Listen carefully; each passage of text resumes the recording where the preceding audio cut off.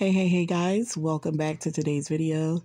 Today I'm doing another rather quick weekday uh, dinner idea for you guys. Um, you can see I'm starting out with some frozen meatballs. I'm just getting them right into my Instapot. So, you know, frozen meatballs are basically cooked. You're just gonna heat them through and get them a nice little brown color going on them. And then I'm moving right on along with some rice. Um, I'm just gonna get that uh, rinsed off real good and into the Instapot. Guys, today's meal is inspired from my prepper pantry. that's right. Sometimes I go through and see some things that's in there that I need to hurry up and use up so that it won't go bad or, you know, expire. Uh, the meatballs are, like I said, frozen. So I believe I picked that bag up from Aldi. Um, but yes, I'm just going to go ahead and make the meatballs. And I'm just going to get a little salt on this rice real quick and get it right into this Instapot and get it going. Um, really simple. It's a rice setting, cook for eight minutes, guys. If you don't have an Instapot, what are you thinking? Go ahead and get it. It's better than having um, separate appliances that takes up a lot of counter space. So when you have the Instapot, um, it also serves like a slow cooker or crock pot. It has a lot of features on it. So if you have not um, gotten yourself one, it will probably be the best investment that you make. Right now, you can see that I'm showing you some flour. I have this old pretzel container that I buy, like the large 10 pound bag of flour from Sam's Club. And I usually fill this thing up. And any flour that's left over, I normally take into my job. Um, they don't buy a lot of flour for the clients there because they don't encourage a lot of fried cooking. So, therefore, on occasion, I take some flours in and I'm able to fry them some um, chicken or some pork chops or whatever they want deep fried. And it's normally a treat for them. Or we'll do some bacon with it, like um, making some homemade bread and stuff like that. But just so that I don't waste the flour here, I donate it to them. Um, back to today's meal.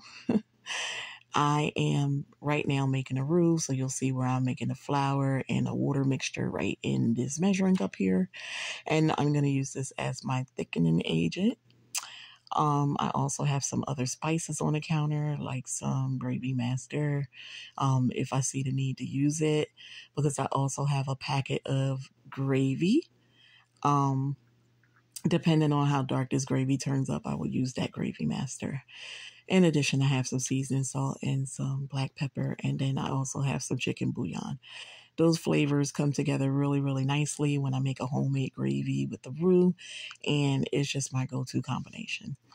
Um, I generally use that gravy master if I do not have any of the gravy packet, like you see that I'm using here. I'll just make it with all the other ingredients minus that packet. But right now, I'm putting like the chicken bouillon in there, and I'm telling you guys, it's so nice and flavorful. So I'm doing all of this to get it to a nice consistency. So what I'm doing, I have it on a high heat right now, and I'm just stir, stir, stir. You got to stay over here and constantly stir it because you don't want it to um, boil up and get too thick really fast on you. So you got to remain there in case you have to add more water. But for the most part, I do this often, so I generally got the measurements eyeballed down to a science. Yep, I eyeball that stuff. Um, my kids really, really love this meal. It is TJ's and my oldest grandson Kha'yair's favorite. They like anything that I make like a homemade gravy. I tend to bake chicken and then I'll do the same thing. Make this gravy mixture, pour over it, slide it in the oven, and baby, that's some good eating. But here it is. This is the nice consistency and the brown color that comes up, which is why I opted not to use that gravy master. So I'm just going to go ahead and let that um, come up to a nice boil. And right now, here are the meatballs. They are done. So I'm going to go ahead and put them inside this gravy.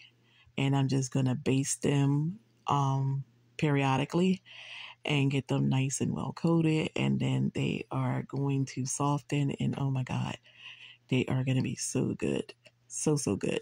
I do all the seasoning in the gravy because if you remember when I put the meatballs in the Instapot, I didn't bother to put any seasoning on them. I just dumped them right out of the bag frozen. So this is where all the flavor comes in.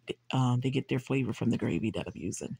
I have used Italian style meatballs in the past, but I'm not too fond of it when I do it with the gravy and rice. So yeah, I just did, um, you know, the traditional meatballs here. Guys, you don't always have to run out to the supermarket to purchase things. Just if you are a prepper stocker and you have some stock in your home, um, just go through like I do, check your dates and anything that you see that's going to come up for expiration soon or anything you just have a taste for or whatever. Just go in there and combine some things and come up with a nice meal for your family as well. Everything that I'm using today um, is from the home. Um, the gravy items and stuff is from my pantries, um, as well as the rice. Uh, the only thing that I'm using that you know from the freezer was the meatballs, and Guys, you can find all of these ingredients in your local Dollar Tree. I have seen cut green beans in the Dollar Tree. I have seen smaller bags of meatballs in the Dollar Tree. You may have to get two to three bags or maybe even more, depending on your family size. Um, you can also find bags of rice in the Dollar Tree. So, this is a very, very, very inexpensive meal that you can serve for your family as well. Typically, when I make meals like this, I usually call it making something out of nothing. And if you have not been following my channel very long, you can go into my playlist and you will find an actual playlist entitled Making Something Out of Nothing. And you can find other quick recipes that I um, put together to serve my family, especially when I'm in a rush. Um, during the summer months when I don't want to turn on the oven, so I use my Instapot and air fryer more often because um, it minimizes all the heat throughout the house in the warmer weather. Right now, just put those green beans in. they're just gonna simmer on low heat. I'm getting these dishes cleaned up because I like to clean as I go. Um, again, the boys are in the living room area today. They are doing arts and craft. They're drawing. I have what I believe is going to be a future artist in my home. That is Ty'zeer, my eight year old. This boy can draw, and I'm encouraging it because I went to school for um, mechanical engineering. Well, it started off uh, machine drafting in high school, and then I went on to college for mechanical engineering. For anyone who don't know what that is, that is drawing blue, blueprints. I'm sorry, for homes, um, buildings. You know, bird's eye view. Um, and you had to learn how to do it freehand as well as on a computer. So uh, it is great money in engineering, and I'm gonna encourage this kid to continue drawing. If not, then maybe he can be like a cartoon artist or something like that. But this guy is so gifted. Um, I am planning on sharing some of his drawings with our church because they have um, youth Sundays on the third Sunday of every month when they sing in the choir. And that entire program is dedicated to the youth. And they like to have parents submit um, any awards or certificates or any outstanding achievements that the kids receive. And so I will be submitting some of Ty'zeer's drawings for um, the upcoming Youth Sunday. So here we are, guys, with these meatballs. They are nice and tender. The gravy is nice and thick.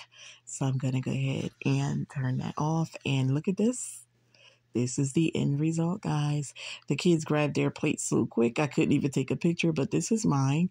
I am um gonna cut out and have my dinner. Thanks for watching. Love and respect.